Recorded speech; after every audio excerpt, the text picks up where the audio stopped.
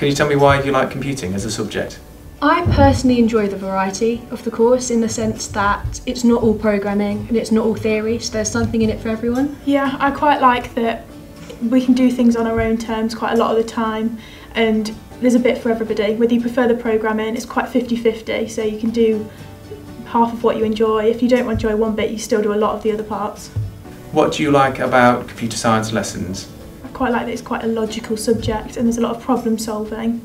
The whole foundation of computer science is problem solving, whether it's trying to figure out the best way to approach a programming task or how to solve questions you're given. It's highly problem solving. I quite like how relaxed the lessons are.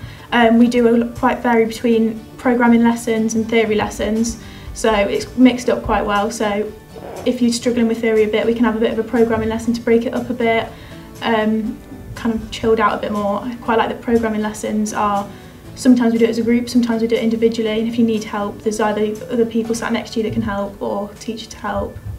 I like the fact that it's a subject that heavily relates to what's in the media and society at the moment. So everything that we cover, we can relate to a real life example. So it's not so abstract and so it's easy to understand. Who would you recommend computing to and why?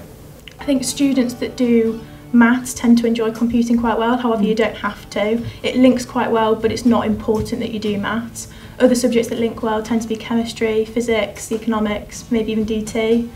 Um, it's quite a problem solving subject, like we said, and quite logical. So students who enjoy problem solving and more logical kind of questions tend to enjoy computing a bit more. I think it should be noted though that just because you don't think you can program or just because you're not uh, really good at remembering things, you shouldn't be put off of it because that's what it, the two years are for. You, you harvest those skills, you learn things, you build up your resilience.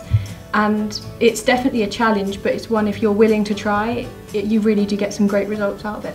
hmm definitely. And if you've not done it for GCSE, it doesn't mean you can't do it for A level. It's quite easy to pick it up if you haven't done it for GCSE already.